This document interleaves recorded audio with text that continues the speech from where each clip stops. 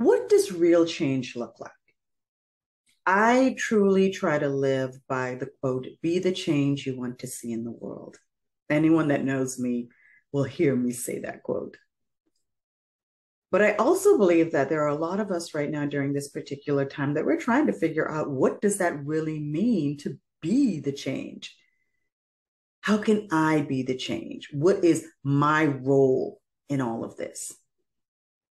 Well, I want to invite you to my video series that I'm going to be launching on Monday, August the 1st. Now, I got to tell you, I don't have a title for it.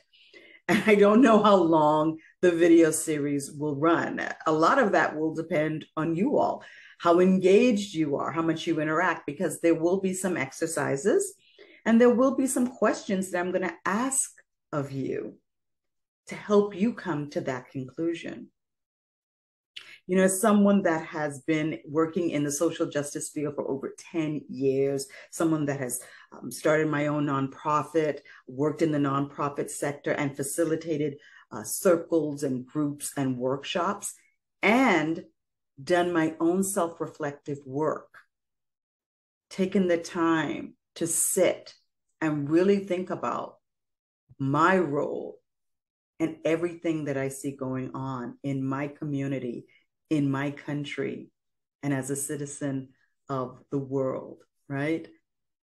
I've, I've, I've brought, been brought to this conclusion that there are many different ways we can all make an impact.